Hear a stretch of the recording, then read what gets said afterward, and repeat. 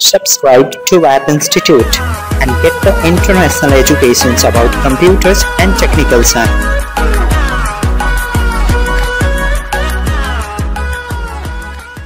An awesome quality of integration morning to viewers. This is your host Saurav. In this whole video, we are going to enter the dragon of CSS. So let's achieve in Hindi language. Guys, इस video में हमें CSS का pseudo classes chapter पढ़ना है। इसकी spelling P से start होती है, लेकिन इसको प्रोनाउंस हम स्यूडो करते हैं क्लियर एज अ डेफिनेशंस हमने डिफाइन किया है pseudo class is use to define a special state of an element क्या मतलब है इसका? इसको समझते हैं। स्यूडो क्लास का उपयोग हम अपने प्रॉपर्टी और वैल्यू में कंडीशंस अप्लाई करने के लिए करते हैं। कंडीशंस अप्लाई करने का मतलब है, आप चाहते हो अगर कि आपका प्रॉपर्टी और वैल्यू तब काम करे जब आपका यूज़र माउस का बटन प्रेस करे या कीबोर्ड से कोई बटन प्रेस करे, तब आपका प्रॉपर्टी और वैल्यू काम करे। तो इस तरह के फीचर्स को प्रोवाइड करने के लिए हम सीडो क्लासेस का उपयोग करते हैं।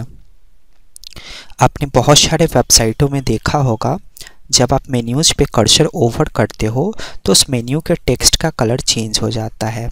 या ओवर करने पे उस मेन्यू का साइज़ बढ़ जाता है। या उसमें एनिमेशंस जनरेट हो जाते हैं। तो इस तरह के फीचर्स को सीडो क्लासेज में आसानी से बनाया जा सकता है। ये बहुत ही एडवांस होते हैं और बहुत इंटरेस्टिंग होते हैं। क्लियर तो मेनली इनका उपयोग हम लिंक टैग के साथ करने वाले हैं और ये प्रॉपरली चार मेथड से डिफाइन किए जाते हैं। मीन्स आप कह सकते हो C S S classes main रूप से चार ही हैं। पहला ओवर ये माउस के ओवरेबल कंटेंट को डिफाइन करता है।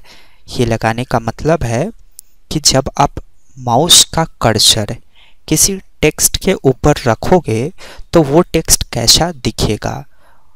वैसा फीचर्स प्रोवाइड करने के लिए आप ओवर सीडो क्लासेस का उपयोग करते हो क्लियर और ये जो आप कॉलन का शाइन देख रहे हो, ये इसके लिए एक आइडेंटिफायर है कि ये जो ओवर है, ये कोई ऑर्डिनरी टेक्स्ट नहीं है, बल्कि ये एक सीडो क्लासेज वाला टेक्स्ट है क्लियर एक्टिव का क्या मतलब है? आप चाहते हो कि जब मैं किसी टेक्स्ट पे क्लिक करूँ तो उस टेक्स्ट में कोई बदलाव हो तो उसके लिए आप एक्टिव शूडो क्लासेस का उपयोग करोगे। लिंक का क्या मतलब है? लिंक का मतलब है, जिस चीज़ को आपने पहले से लिंक करके रखा है, वो किस तरह का पहले से ही नज़र आएगा आपके यूज़र के सामने, ऐसा डिफाइन करने के लिए हम लिंक सोडो क्लासेस का उपयोग करते हैं। आप इसको अपने शब्दों में अनविजिटेड लिंक भी कह सकते हो। मींस एक ऐसा लिंक जिस पे यूज़र ने अभी तक क्लिक नहीं किया हो ओके अगला है विजिटेड यानी कि जिस लिंक पे आपने क्लिक कर दिया वो लिंक उसके बाद कैसा आपके यूज़र के सामने नज़र आएगा वो आप डिफाइन कर सकते हो विजिटेड स्यूडो क्लासेस में ओके सो so, इसके प्रैक्टिकल सेशन हम अचीव करते हैं आप मुझे प्रॉपरली फॉलो करें। इन सब चीज़ों के बारे में भी हम पढ़ेंगे, लेकिन समय के अनुसार।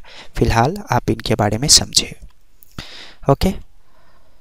So H T M L five के कंप्लीट स्ट्रक्चर को आप राइट कर ले और अपना कोडिंग करना शुरू करें। जैसे मैं काम करता हूँ बटन के मेथड के अनुसार आपको समझाता हूँ। आप बहुत सारा नया चीज़ भी इसमें सीख पाओगे।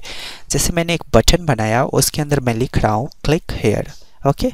अब मैं बटन को लॉक कर देता हूँ। ओके जरा मैं इसको रन करके देखता हूँ कि ये किस तरह का दिख रहा है। ये बाई डिफ़ॉल्ट जैसे दिखने चाहिए, वे, ये उस तरह के दिख रहे हैं। मैंने पहले से पेज को जूम करके रखा था, इसलिए ये इतने बड़े हमें नज़र आ रहे थे। क्लियर अब मैं इसे डिज़ाइन करने जा रहा हूँ। तो डिज़ाइन करने के लिए स्टाइल टैग की मदद से मैं सीएसएस के कोड को एक्टिवेट कर लूँगा। ओके अब मैं बटन को सेलेक्ट कर लेता हूँ और इनके विर्थ और हाइट में बदलाव करने जा रहा हूँ क्लियर तो सिंपली मैंने विर्थ डिफाइन किया 120 पिक्सल्स ओके और फिर मैं हाइट डिफाइन कर देता हूँ 50 पिक्सल्स ओके रन करके चेक करता हूँ कि ये किस तरह का दिख रहा है। यस yes, ये कुछ इस तरह का दिख रहा है। हाइट का स्पेलिंग शायद गलत है इसलिए ये उस तरह का दिखा हमें। अब मैं रन करके चेक करता हूँ ओके परफेक्ट थोड़ा सा और डेकोरेट करना मैं आपको सिखाता हूँ, एक नया चीज़ सिखाता हूँ आपको, देखिए। इसमें पहले से बॉर्डर है ओके तो मैं इस डिफ़ॉल्ट बॉर्डर को रिमूव करने के लिए बॉर्डर प्रॉपर्टी में नन वैल्यू पास करूँगा तो इसमें जो डिफ़ॉल्ट बॉर्डर है वो रिमूव हो जाएगा ओके रिमूव हो क्या? रिमूव होने के बाद भी आप दोबारा बॉर्डर प्रॉपर्टी का यूज़ कर सकते हो, अगर आप अपने डिज़ाइन का कोई बॉर्डर देना चाहो तो। क्लियर मीन्स एक एलिमेंट में बॉर्डर प्रॉपर्टी का आप दो बार यूज़ कर सकते हो। अगर उसमें बाय डिफ़ॉल्ट बॉर्डर है तो ओके तो बॉर्डर बाय डिफ़ॉल्ट जो था, उसको हमने हटा दिया। अब मैं अपने डिज़ाइन का बॉर्डर देना चाहता हूँ तो उसके लिए मैंने फिर से बॉर्डर प्रॉपर्टी का यूज़ किया। और स्टैंडर्ड बनाने के लिए मैं इसमें बैकग्राउंड कलर प्रॉपर्टी ऐड करके इसका कलर डिफाइन कर देता हूँ। वाइट क्लियर थोड़ा सा और अट्रैक्टिव दिखाने के लिए मैं बॉक्स सेटर प्रॉपर्टी लगा देता हूँ और इसमें वैल्यू डिफाइन कर देता हूँ zero pixels zero pixels eight pixels sharp D D D okay जरा आप रन करके चेक करिए कैसा दिख रहा है यस yes, ये कुछ इस तरह का दिख रहा है ओके okay. अब मैं कुछ एडवांस फीचर्स इसमें ऐड करके दिखाता हूँ जो मैं आपको सीडो क्लासेस से बताऊँगा करना ओके okay? अब जरा ध्यान दें मैं सीडो क्लासेस का उपयोग लिंक के रेस्पेक्ट में करने वाला हूँ। आप बटन के भी रेस्पेक्ट में कर सकते हो ओके तो मैं काम करता हूँ, पहले बटन के ज़रिए आपको सिखाता हूँ। तो सीडो क्लासेस का उपयोग करने के लिए आप दोबारा बटन टैग को सेलेक्ट करोगे। क्लियर दोबारा आपको सेलेक्ट करना है। और कोई भी सीडो क्लासेस का उपयोग करो, लेकिन सारे सीडो क्लासेस बटन के साथ इंटीग्रेट नहीं हो सकते हैं। आप जरा इस चीज़ को ध्यान से देखें मैंने यहाँ लिखा है ओवर और एक्टिव ये दोनों सोडो क्लास है, जिनको हमने यहाँ से लिया है। और इसके पहले मैंने एस्ट्रिक सिंबल का यूज़ किया है। सीएसएस के कोड में अगर आपने लिखा है एस्ट्रिक सिंबल तो इसका मतलब है आप एचटीएमएल के सारे एलिमेंट की बात कर रहे हो। मीन्स ओवर और एक्टिव के पहले मैंने एस्ट्रिक सिंबल लगाया है। तो मैं कह सकता हूँ ओवर और एक्टिव सीडो क्लास HTML के सारे टैग्स और एलिमेंट में काम करेंगे।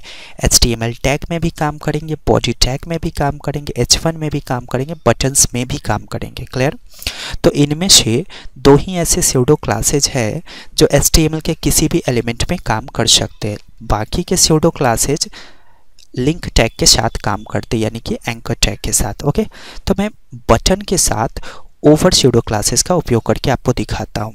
तो मैंने बटन दोबारा शुरू किया और फिर ओवर सीडो क्लासेस लगा रहा हूँ। उसके बाद मैं कर्ली ब्रैकेट दूँगा। तो क्या मतलब है इसका?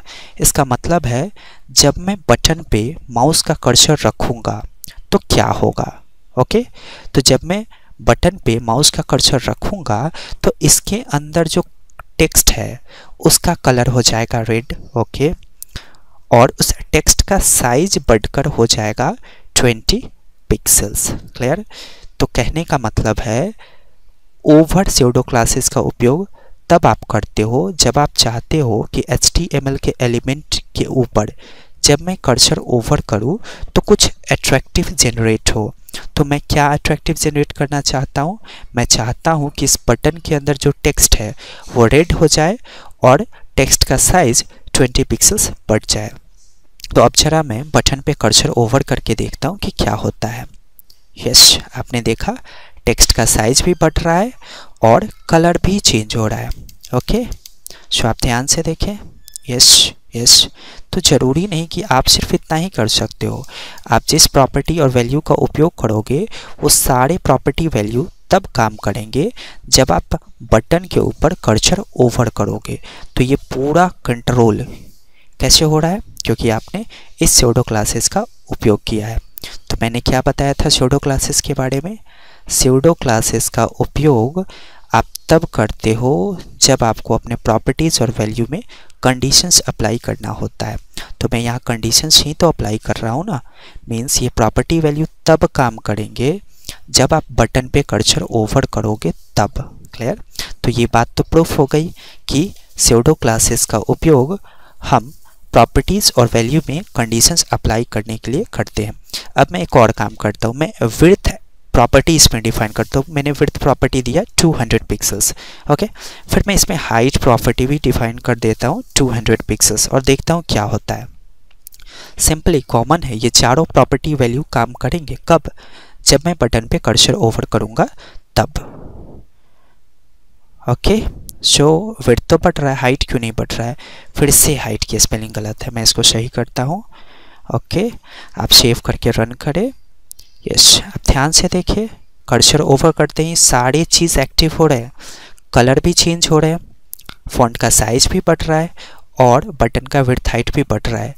इसे और डायनेमिक बनाने के लिए मैं इसमें टाइम इंटीग्रेट कर सकता हूँ। यानी कि मैं चाहता हूँ कि ये सारे प्रॉपर्टीज़ और वैल्यू एक सेकेंड में एक्टिव हो। 10 सेकेंड में एक्टिव हो या 20 सेकेंड्स में एक्टिव हो तो उसके लिए मैं टाइम अप्लाई करने के लिए ट्रांजिशन प्रॉपर्टी का यूज़ करूँगा। और इसमें मैं डिफाइन कर देता हूँ 10 सेकेंड्स। क्लियर? आप जितनी टाइमिंग देना चाहो, उतनी टाइमिंग दे सकते हो। सिंपली अब मैं इसको रिफ्रेश करके रन करता हूँ। ध्यान से देखिए क्या हो रहा है। जब तक कर्चर ओवर होगा टाइमिंग के अनुसार 10 सेकंड के अंदर सारे प्रॉपर्टीज़ और वैल्यू एक्टिव होंगे। क्लियर अगर मैंने टाइमिंग कर दिया 0.5 सेकेंड तो क्या होगा? 0.5 सेकेंड के अंदर ही ये सारे प्रॉपर्टीज़ और वैल्यू एक्टिव हो जाएँगे। क्लियर? तो सिंपली आप कोई भी प्रॉपर्टीज़ और वैल्यू पास कर सकते हो इसके अंदर, लेकिन ये प्रॉपर्टी वैल्यू कब काम करेगा? जब आप इस बटन पे कर्सर ओवर करोगे तो ये पूरी फंक्शनैलिटी आप सिर्फ़ एक शब्दों से कंट्रोल कर पा रहे हो। तो यही सोच लो कि सी एस एस का सीडो क्लासेज कितना एडवांस है क्लियर यह वीडियो बहुत ज़्यादा लंबा हो जाएगा। अगर मैं प्रैक्टिकल सेशन पूरा अचीव कर लूँ तो। सो काइंडली इसके आगे का प्रैक्टिकल सेशन हम अगले पार्ट में अचीव करेंगे। सो गाइस काइंडली मेरे टीचिंग एक्सपीरियंस को प्रमोट करें। मेरे चैनल्स को सब्सक्राइब करना ना भूलें और सब्सक्राइब करने के बाद बेल बटन पे क्लिक करें। So stay tune to our channel guys thanks for watching my video have a great day Subscribe to App Institute and get the international educations about computers and technical science.